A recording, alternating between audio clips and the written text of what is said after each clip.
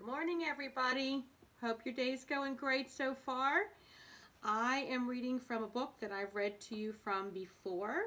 Uh, there's not a page in here that doesn't just expand your heart and make you go, oh. so anyway, today's uh, reading is from Only Love Today by Rachel Macy Stafford. Subtitle, Reminders to Breathe More, Stress Less, and Choose Love.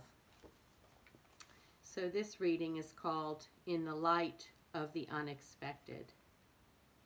It might be that day of the week, or that particular season, or that darkest hour when you've come to the end of your ropes, when your dreams seem impossibly far away, when nothing seems to fit in its proper place, when the bed covers look like an inviting place to stay forever. This is not what I expected, you might say, on this day of the week, in this particular season of your darkest hour.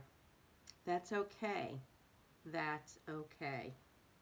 It doesn't mean it can't work out or be okay or become something better than you expected in time.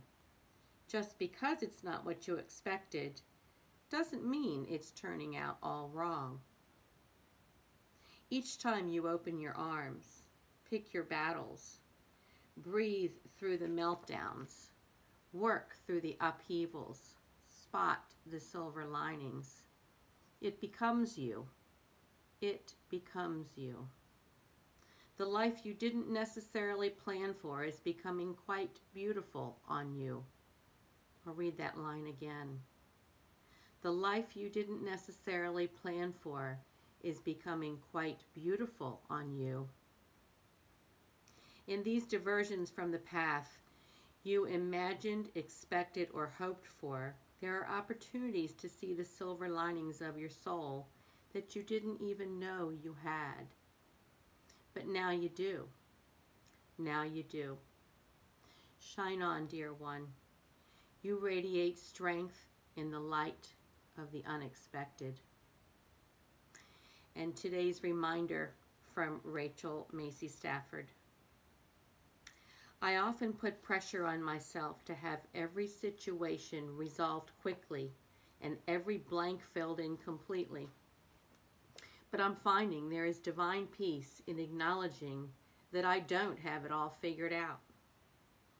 By surrendering, my worry eases and the empty spaces are filled in better ways than I could have imagined. Today, I will surrender my empty spaces and I'll offer the same peace to my loved ones. I trust things will work out in time. I can't let go of the problem for now, knowing, sorry, I can let go of the problem for now, knowing I am held in God's loving hands the life you didn't necessarily plan for is becoming quite beautiful on you. Thank you.